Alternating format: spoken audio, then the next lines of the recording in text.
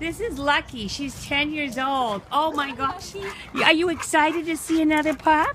Let's go see Davis. Come on, Davis. Davis is always great with dogs. Hey, Davis. Oh, look at her wiggling her non-tail Yeah. here. Oh, Lucky, you're precious. Good boy, Davis. You're our go-to guy.